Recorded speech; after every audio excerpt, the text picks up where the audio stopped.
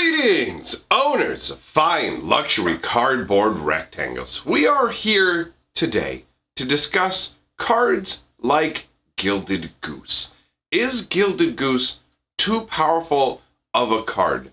And specifically for this conversation, I want to talk about power levels in like relative terms. So I'm not talking about too powerful overall for Magic the Gathering, but specifically for the standard environment. Now, the Gilded Goose, for anybody who's been playing Magic for a long time, you're going to look at it and go, it's kind of like a Birds of Paradise. For those of you who don't know, Birds of Paradise was for the longest time your go-to one green mana fixer, aside aside from things like Llanowar Elves, because Llanowar Elves did exist back in the day. But Birds of Paradise were your zero one flyer that you could tap for a mana of any color. Now, Gilded Goose is kind of like that. Uh, it is it is in some ways more restricted than the Birds of Paradise, right? You can get a mana of any color out of it, but it does require that you have a food token to sacrifice to the Gilded Goose to get that mana. So there is the argument that look, you can put it out, you only get to use it once before it needs to be refreshed with food to be ready to go, right? The, the whole the whole card works like so. You pay one green, you put it out, you get a food token, you tap it the next turn, you sack the food token, and now all of a sudden Gilded Goose can't produce mana, but it does still have the ability to produce food tokens. I mean, you can pay a green with colors, tap it to make a food token, and when I first saw the card, I'm old school, right? So I'm used to cards like Birds of Paradise and other things, and I looked at it and I went, it seems okay. It seems oh, like it seems all right. Your brain just goes, okay, you have got to sacrifice a food each time, so it's really not that powerful, right? You just go, eh, whatever, who cares? I mean, look at Bird. If you were around for Birds Paradise, you're just gonna go, well, this is a much weaker Birds Paradise, right? Overall, that that's how your brain categorizes it. And uh, like I, I actually I remember being at uh, an F and M where somebody called the gilded goose like I've got four birds in my deck. Oh, I'm like those are not birds. Birds are birds of paradise, and you bolt those the first turn. Always bolt the birds. Like just this old, all this old grouping of memories just kind of surfaced up. But anyways, that's just a funny side note. the The point is, is that early mana fixing like or well yeah it's, it's mana fixing and acceleration combined together at a very quick speed admittedly it's a one shot use but quick mana that you sacrifice like you have to sacrifice something you only get to do once can still be very potent. Look at cards like lotus petal. Now obviously i'm not saying that gilded goose is the same as a lotus petal but originally i was thinking about i, I mentioned in a previous video how insane it would be for Llanowar elves to be in this particular format with the strength level of green, the whole repeatable early mana. One turn, you boom, you've got your first turn Llanowar, you tap it, you're looking at like second turn Yorvo, things of that nature. Obviously, if you play a second turn mana fixer that taps for mana every turn, on your third turn you're already at four mana. But I'm more comfortable with that two mana acceleration and it only providing green the the the the difference, the magnitude of power that comes along with something like Gilded Goose is actually really noticeable. Where Gilded Goose will, I mean, right now the most obvious example of what Gilded Goose is being used to accelerate out is Oko, right? Oko is a very dominant card. It's not as dominant as Field of the Dead was, but Oko is still a very dominant card. So as a result, you can see a second turn Oko and you can either get the green mana or or the blue mana, right? You've already spent a green mana to put out the Gilded Goose. So the Gilded Goose essentially is guaranteeing you that you're going to be able to play that second turn Oko, which is oh, it's Broco. I mean, let's let's be real. A second turn Oko is absolutely crazy. And then the fact that Oko can turn around and make more food that the Gilded Goose can sack for mana is one thing. But Gilded Goose itself even has that secondary ability of creating food, which can keep you going in the long run as well. Now, obviously, if Gilded Goose didn't really have the ability to create food, it wouldn't feel as good a card. You'd go, well, it can't make mana as frequently. But I think even if you removed the ability for the Gilded Goose to make food and just had it come out, create a food, able to sack a food to make a mana, it still feels too strong, in all honesty. It's uh, I, I love the fact that it's a zero two as well instead of just being a zero one. It's like get out of here, Birds of Paradise. It it feels to me like a card that was made to kind of push the push the power level of green and made by somebody who's been around since the days of Birds of Paradise. Because if you compare it to a Birds of Paradise, it genuinely doesn't feel as strong. But in standard, it's behaving in a way that's demonstrating its strength. And I pondered for a while. I wondered why, if we had Birds of Paradise back in the day and birds didn't feel like too strong, too strong, too wrong, why does Gilded Goose feel that way? What is it that's causing this to happen? And what it is, is there's been a fundamental shift in Magic the Gathering over the years and it may not be as noticeable like when you've lived through it but if there was somebody who played magic like 20 years ago 25 years ago and then entered magic now they would see a stark difference. The way magic used to work was spells outweighed creatures in terms of power level. Like spells were up here and creatures were down around here especially big fat honking creatures. Like green used to be the domain of the big well green's. Green's always been the creature color. That's never changed throughout the history of magic right? Green is the creature color where you get the big pounders and smashers and craziness. But back in the day that would be like a force in nature you would have to spend four mana every turn just to stop this 8-8 trampler from knocking you in the face for eight so to me the uh, the shift has been gradual but it's very obvious now when I reflect on creatures that exist. I mean, even if you take creatures that that most people don't really consider standard worthy, that are uh, like not like, oh, this isn't that great. Look at aggressive mammoth. You don't see a lot of people playing aggressive mammoth, and it's six mana for an 8-8 trampler that gives all your creatures trample. When you compare that to the force of nature, it's a massive, massive step up. So the power level of creatures has stepped right upwards, while the power level of spells has come down somewhat and have a harder time dealing with all of these creatures. Green has had a real boost in terms of its creatures. It's got really like beefcake, insano creatures now. Like Yorvo is mind blowing.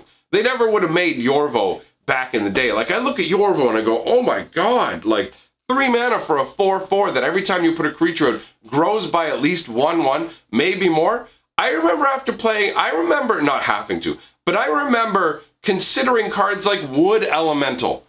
Wood Elemental. Guys, this card is ridiculous. One green, three colorless, and then you have to sacrifice forests to actually give it power and toughness. You need to have five lands out. You need five lands out for this creature. And that's to sack one land because the forests have to be untapped and you get a 1-1, right? Compare that to Yorvo. Like the power level, the power level of creatures has gone right up. And standard right now is is a crazy beast where if you don't have something right away and your opponent does, you're done. Like a first turn Gilded Goose, second turn Oko means if you're not blazing out of the gates at that speed on your side of the board, you're done because you're going to be on the back foot. We've all been in those games where you're on the back foot. And what happens is your opponent just goes, I'm coming for your face right away. And so all you can do is keep grabbing your creatures and just throwing them in the meat grinder, just trying to stop your inevitable destruction. But because you have to do that, you have to keep throwing your creatures in the way. You don't get to sit there and develop your plan. Your plan was never to put out your creatures and just watch them get destroyed as you try desperately to survive. Your plan was to use your creatures to swing in hard. Or if you don't have creatures, I mean, take it however you want. You have to use your spells in a suboptimal way where you're just going, oh my God, like just, just trying to hold off the insanity that your opponent is bringing to the board. So having the Gilded Goose, it feels like it's just, it feels like, it feels like it's too much. I mean, Llanowar Elf felt like it would be too much to me. And the Gilded Goose feels like it takes Llanowar to the next step. Now, your brain will at first tell you, okay, you you have to sacrifice the food. So you're only getting to use this the one time to start with. But that doesn't matter because it's enough. You don't, you don't need you don't need the gilded goose to be able to hit you mana every turn. Only getting to use it every once in a while, having a second gilded goose, these these things they, they make it okay. The gilded goose is still completely acceptable. And you can see that if gilded goose wasn't strong, it wouldn't be used in the way that it is. I mean, it's it's a rare card for a reason. Look at Llanowar Elf is a common card, and Gilded Goose is a rare card. And Gilded Goose isn't a rare card because it's going to warp a draft environment, right? Like, in all honesty, with a draft environment, you may have something awesome in your hand that Gilded Goose will help you speed up. But it's nothing compared to the, the consistency that having four Gilded Gooses lends to the speed of a deck. So that early buildup with the Gilded Goose is actually a genuine problem. And I do I do think that if Oko becomes a dominant force in standard, like if Oko gets to the point that Field of the Dead did and requires a like a ban, and I'm not sure we'll get to that point. I did do a video discussing whether Oko needs to be banned or not and went more in depth with that. But overall, I don't know if Oko will necessitate a ban, but I do genuinely believe that if standard reaches the point where Oko like is really problematic and Wizards is going, okay, it's time to issue a ban. I don't think they're going to target Oko because Oko's worth a lot more money. He's not he's not a prime target for banning, so they'll look for the cards around Oko. And one of the big candidates in my eyes around Oko that would get banned is Gilded Goose because by removing Gilded Goose, you slow the Oko deck down by a turn and also remove a food engine for it as well. So to me, the Gilded Goose is it's it's crazy to say that we've reached the point where a Birds of Paradise S card is too powerful for standard, but it genuinely does feel that way. Like the older formats of Magic the Gathering, especially um, the format with the Lotus and the, the Moxes and all that, it's the fastest format in existence. Games get decided like that.